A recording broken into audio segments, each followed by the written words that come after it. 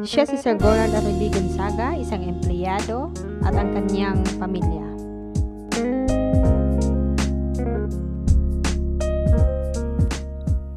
Nakapagpatayo ng kanyang dream house.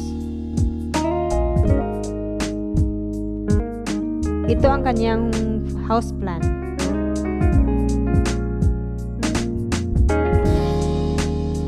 June 22, 2020, started building a house.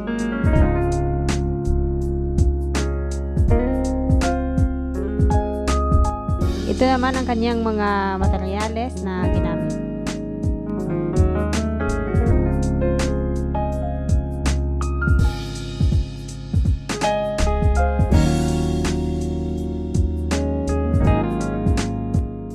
Installation of galvanized iron.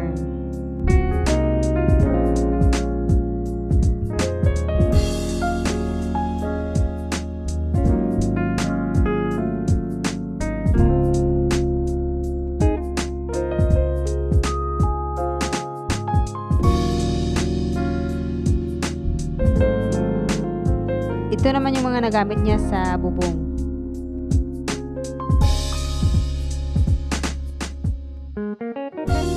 Na-install na rin ang mga window grills with glass.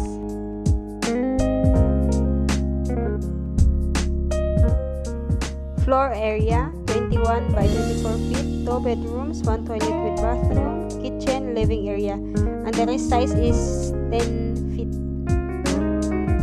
18 days lang ito ginawa at pinastop ni Sir noong July 11. Ito naman ang mga nagastos sa windows, size and prices.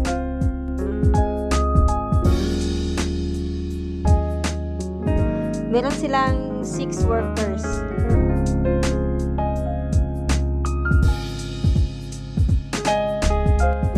I-house tour muna tayo ni Sir. Sa hindi pa po nakasubscribe sa aking channel, please subscribe now and click the notification bell para updated kayo sa aking mga next video.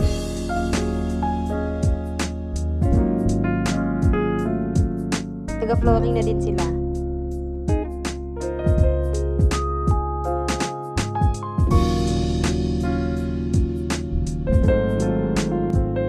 Right side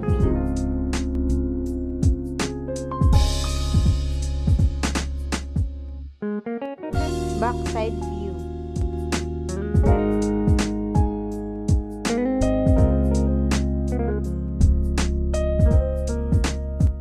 Kitchen area.